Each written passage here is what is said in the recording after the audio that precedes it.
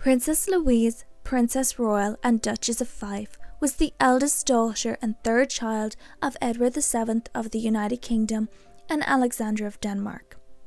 Known for being shy and quiet, Louise was a low key member of the British royal family. Louise's birth was not without difficulty. Her mother, Alexandra, became ill with rheumatic fever during her pregnancy. Her mother was encouraged not to use chloroform, a painkiller, during the labour because the doctors felt it would worsen the Princess of Wales' condition. The labour was painful as a result when Louise entered the world on the 20th of February 1867. Louise grew up with three brothers and two sisters. Albert Victor, George, Victoria, Maud, and Alexander John. Tragically, Alexander John passed away at one day old. Louise was a granddaughter of two European monarchs, Christian IX of Denmark and Queen Victoria of the United Kingdom. Unlike their mother, Louise and her sisters were not considered to be conventionally beautiful, and they were nicknamed the Hags they received a minimal education. The sisters were shy and quiet in public, and they often appeared to be quite withdrawn. However, in private, they were lively and flourished. Being possessive of Louise and her sisters, their mother did not want them to marry.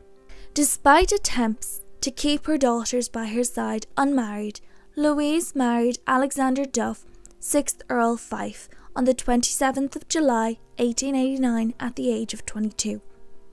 He was 17 years older than her and her third cousin through their mutual ancestor George III of the United Kingdom. Alexander's descent was via William IV and his longtime mistress Dorothea Jordan. Louise's grandmother, Queen Victoria, created Alexander the Duke of Fife and Marquess of Macduff two days after the wedding.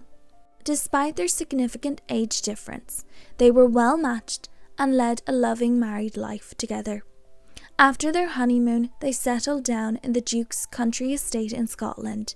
Louise soon became an expert at salmon fishing.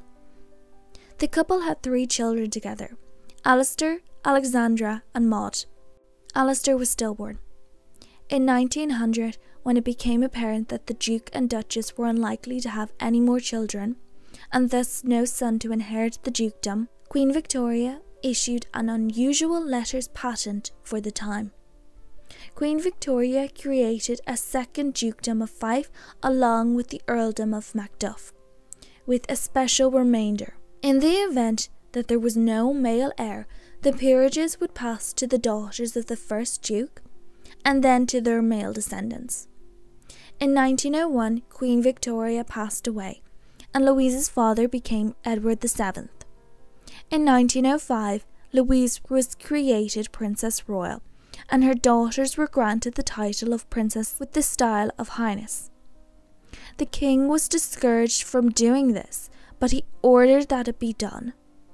Prince George, Prince of Wales, Louise's brother, and the future King George V, was disturbed by this act. In December 1911, Louise and her family set off to spend the winter in Egypt and Sudan, where the weather was more beneficial to Louise's health. Their ship went aground off the coast of Morocco and they were shipwrecked. The Duke developed pneumonia and died on the 29th of January 1912 in Egypt. Alexandra succeeded as the Duchess of Fife in her own right. After this, Louise led a somewhat reclusive life. She would occasionally accompany her mother and her sister Victoria to public events. In her later years, Louise suffered from heart disease. In October 1929, she fell ill with gastric hemorrhage and was treated for it in London. Fifteen months later, she passed away in her sleep on the 4th of January 1931.